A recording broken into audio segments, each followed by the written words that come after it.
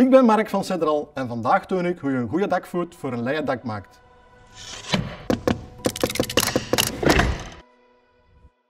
Het geheim van een goede dakvoet maken zit hem in de correcte plaatsing van het onderdak en de voetplank.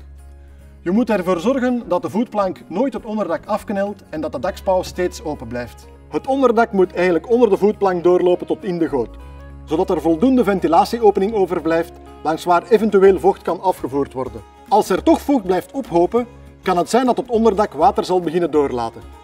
Dit is een slechte dakvoet. Je ziet duidelijk dat het onderdak is afgekneld.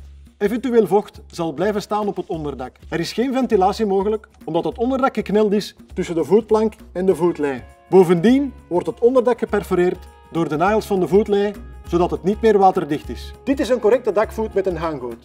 Je ziet duidelijk dat het onderdak mooi doorloopt onder de voetplank. Mijn ventilatie blijft dus bewaard en het onderdak wordt niet afgekneld, zodat er geen water kan blijven opstaan. Bovendien kan ik mijn voetleien stevig bevestigen op de voetplank, zonder dat het onderdak geperforeerd wordt. Dit is een correcte dakvoet bij een bakgoot. De gootplank is hier ingefreesd in de keper. En dus gelden dezelfde belangrijke punten. Voldoende ventilatie, het onderdak wordt niet afgekneld en wordt niet geperforeerd door de nagels en de haken van mijn voetleien.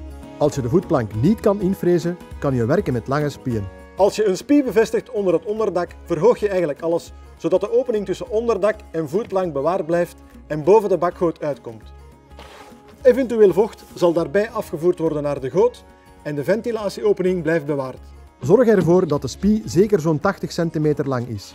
Zo gaat de verhoging geleidelijk en zal het onderdak en latwerk niet zichtbaar buigen. Voor meer technische informatie ga naar onze website cedro.world.